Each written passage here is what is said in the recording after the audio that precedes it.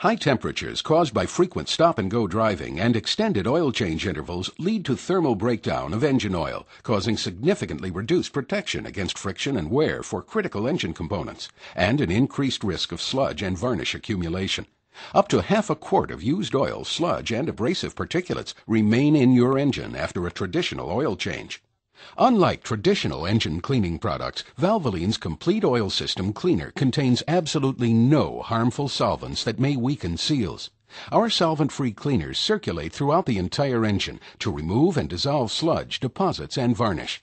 With the engine thoroughly clean prior to a new oil change, this engine cleaning service helps restore fuel economy, drivability, and prolong engine life.